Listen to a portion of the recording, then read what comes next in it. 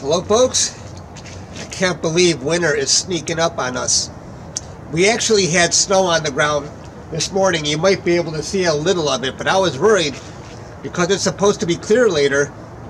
And I can't image when there's snow on the ground. All the light pollution, and even now with the moon being out, it, it bounces off of the snow and comes up to the point where it jacks up my ADU so high my data is not usable. I go through this every winter.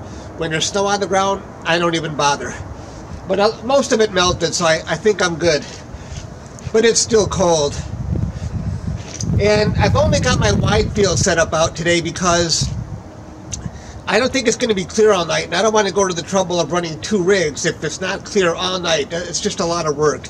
And um, I did finish up a project on my other rig, but it, it's over 30 hours and I'm a little frightened to process it. I didn't see any data coming through in the subs, and it's going to be tough, and I, I didn't feel like starting it yet.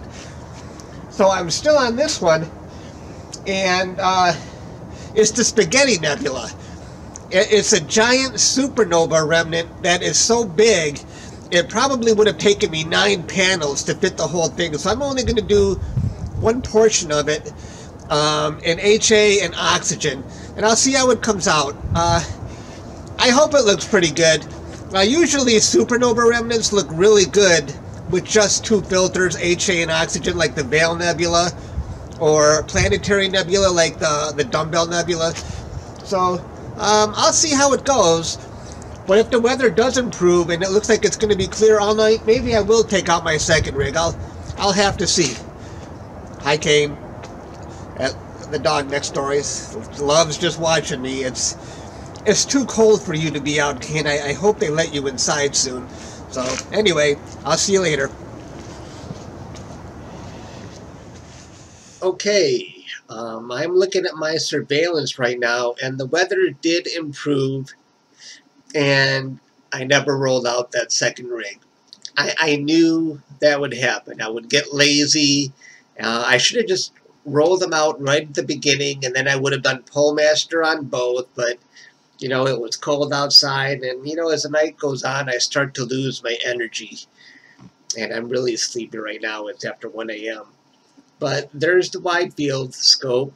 It's pointing at the Spaghetti Nebula, and uh, that's the live view.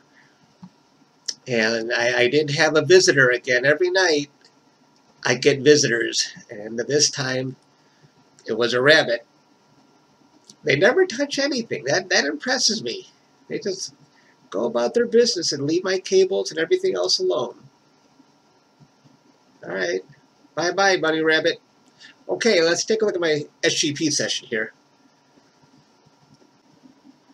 So this is what my guiding looks like, and right now it's 0.81 it was better earlier. Some every time I want to record it, it seems like you guys never really see the guiding when it's at its best because it was a lot lower than point point eight. But I can live with that. I, am sure the stars will be round. So um, anyway, let's take a look at uh, my SGP session. Okay, so I've already captured around 10 hours of HA and um, I can definitely see the Spaghetti Nebula with 10 hours. I don't know if going more will, will help any. And now I'm doing oxygen. At, you know, I always show you guys normal gain 75, 15 for oxygen, and uh, for, for HA unity gain 13921. And let's take a look at one sub. I, I knew it. I knew it. It was going to zoom me out of that. it, the funny thing is, I was closing it and then opening it, and it was fine. But as soon as I make the video, poof, it, yeah, it's crazy how that the time it works. Yeah, I'm rambling. Forget about it. I'm just tired of that box. Every time I close it, it zooms me out of SG Pro. All right. So anyway, it's driving me crazy and I'm a little bit delirious. It's 1.30 a.m. and I want to go to sleep. All right, so as expected, I knew I wasn't going to see any data in one sub for oxygen. This thing is faint. And uh, but I did see data in one sub for HA. This is what an HA sub looks like. So uh, I think there's hope. I do see a lot of people capturing all three narrowband filters for this target, but I I like just HA and oxygen for supernova remnants like the Veil Nebula. I think it, it has a lot more, a much more natural look to it, so I'm just going to do that.